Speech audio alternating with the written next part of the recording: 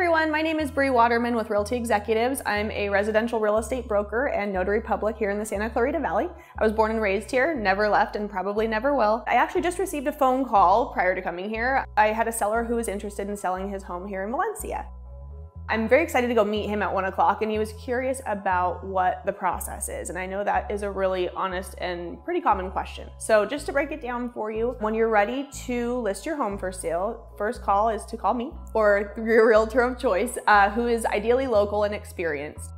What you're gonna wanna do is walk through the property with your realtor, talk about some ideas as far as maybe decluttering or painting, flooring, any minor changes that should happen to get you the most value so this afternoon, I'm gonna go by the property with the seller. We're gonna meet, walk through the house, decide if we need to make any changes, where we should price. What I need is three days prior to when you're ready to start showing the property. So if it's ready right now, I'll be able to list the property three days from now. So I wanna get my professional photographer out always because 95% of buyers are online and that's where they're seeing your photos.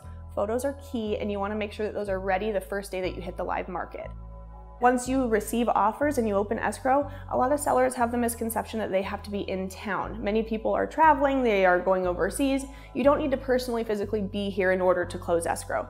A lot of things are done via DocuSign nowadays, and you just have three simple forms that need to be notarized, the grant deed especially that should be done at some point during escrow just in time for closing. So if you have any questions, please call me at any time, 661-433-4485. Thank you.